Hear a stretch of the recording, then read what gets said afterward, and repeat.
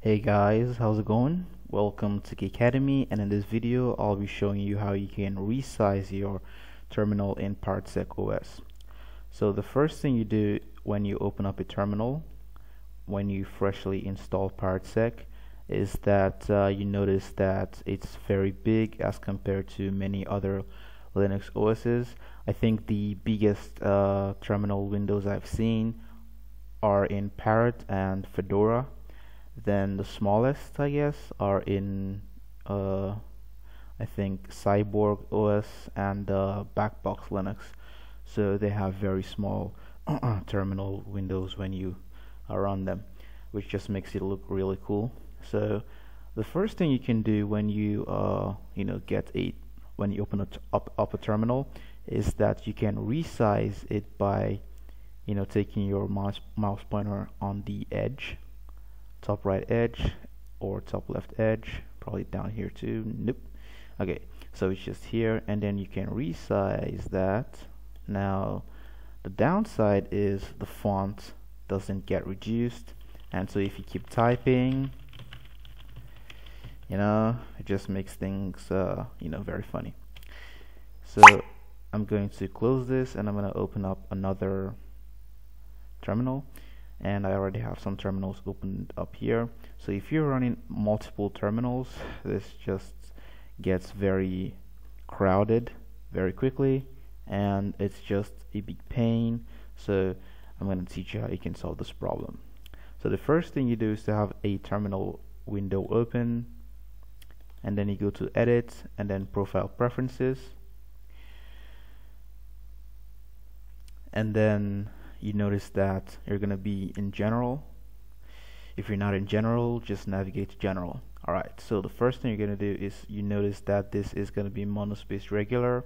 I think that this might be 12 or 13 let's see that I don't know. So you just click on that and then if you wish to change your font then that's your problem. However I like the monospace regular so I'm just going to leave it at that. So you're going to go over to size you could use this but it's just uh, you know isn't too you know reliable or something. So you could just click this minus sign. I think 10 is gonna be okay for me and so when I click on OK this is what I get and you notice that the terminal window resized. So I could go back here increase or decrease if I wanted to. I'm just gonna put it at 9 I think because I have good vision. There we go. And then close. So there we go. So if your vision isn't too good then you should probably leave it at 10 so if you open up multiple terminals this time it just makes things easier. At least now you have more you know room to uh, actually see what you're doing and uh, you know easily navigate However, um, there's this program that was made to solve this problem. It's called Terminator. And I already have a video on how to install this. You just basically type uh, sudo apt get install Terminator, I guess. That's it. If you're running on Parrot. I don't know why this takes so long to boot.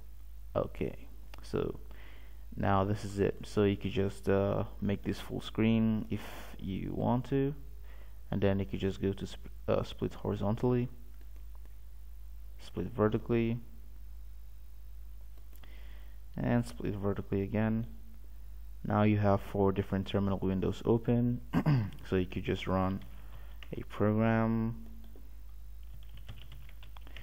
Another one here it could be maybe um, doing some work here and then another one here another one here another one here.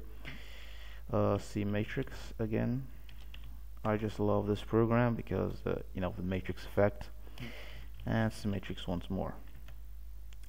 Okay so now you basically have four terminal uh, terminal windows open. You could say echo hello world while you're at it. So these are pretty much isolated. So if I press uh, Q here to quit or control C if I press up notice that uh, matrix was the last command I put in here. So but here it was echo hello world. On the normal terminal I think that uh, you know you'd see this echo hello world.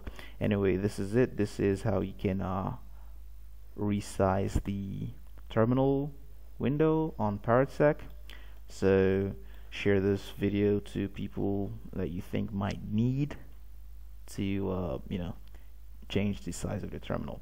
Because I know for one I was stuck when I had this ParrotSec installed first.